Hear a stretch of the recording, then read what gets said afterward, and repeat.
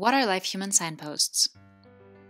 Vincent Harding, civil rights elder and speechwriter for Martin Luther King Jr., in a 2013 interview, tells a story of an encounter with a young man named Daryl.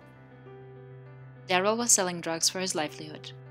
The reason he gave for his career choice was the fact that he, like many other young people, were operating in a situation where they felt it was just very, very dark all around them.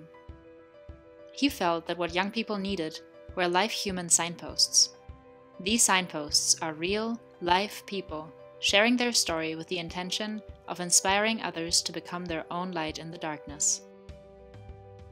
As Marshall Ganz said, stories not only teach us how to act, they inspire us to act. Stories communicate our values through the language of the heart, our emotions. And it is what we feel, our hopes, our cares, our obligations, not simply what we know, that can inspire us with the courage to act.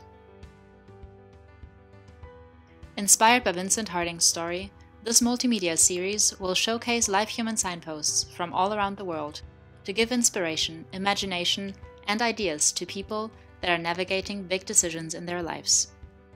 There is no moral to these stories. They are shared to be received and interpreted based on the unique experiences of each person that hears them. We hope that they, as Harding describes, open up possibilities that other people can't see in any other way, except seeing it through human beings who care about them. Do you want to nominate yourself or someone you know as a Live Human Signpost? Contact us at livehumansignposts at gmail.com.